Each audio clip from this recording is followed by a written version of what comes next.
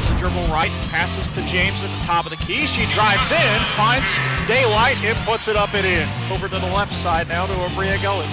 She drives inside, puts it off, glass and in. But by Mariah Messingill as they didn't milk much of the clock. Jasmine Borders a three-point shot, good on the left side.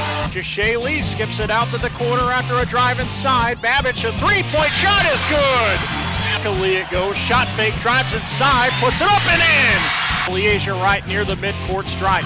Here comes James dribbling inside, and she finishes on the n one. It's James passing off the border. She almost lost the handle on it. Massagill was there to try to pick it away, but she scored on the free throw line. And Murray State back, did away with it. And it's a nice pass there. Wright finds Lee off to the wing. Three-point shot on the way in good.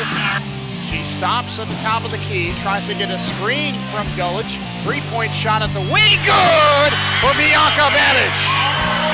32-31. It's gone back to an 11 point lead until it's cut to single digits.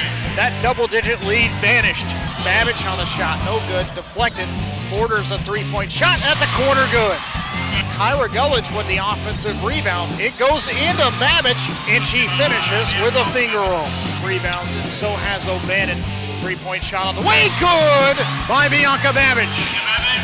And lost a handle on it as she was going up for the shot, but found Kyra Gullich, and Gullich skips it back out. A.G. Smith now passes it to Deshae Lee, and she knocks down a three-point shot, but and Eastern Kentucky takes this win and advances in the OVC tournament.